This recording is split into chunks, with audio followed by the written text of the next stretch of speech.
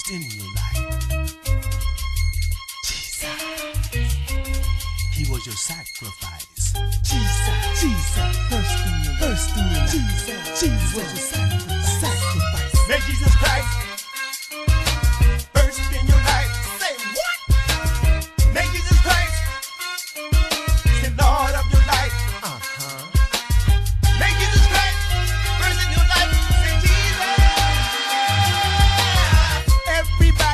Want you to know that Jesus Christ is the Lord of hosts.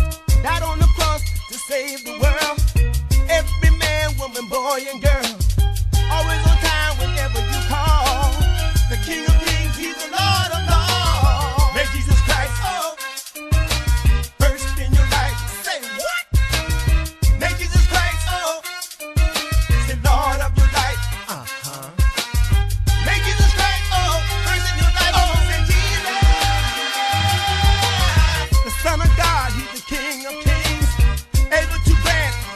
Anything.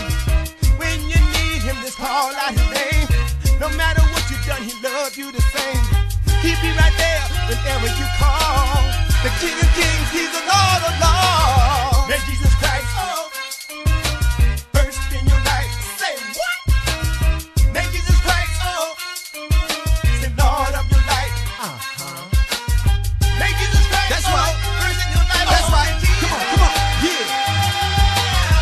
Him in the morning and praise him at night. Feel his Holy Spirit, it'll make you feel alright. That's right. It's Jesus, King of King, able to grant anything. My Bible says you shall believe these things. So trust in him, you shall receive. Keep faith.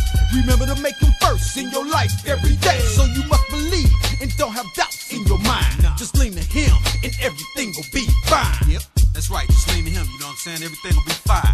Trust not in your own understanding, but trust in the word of God. Because that's the only true word that you might ever hear in this lifetime. Believe that. I'm out. Jesus is sitting on the right hand of the throne with his Father where he belongs. His Holy Spirit lives in me and you.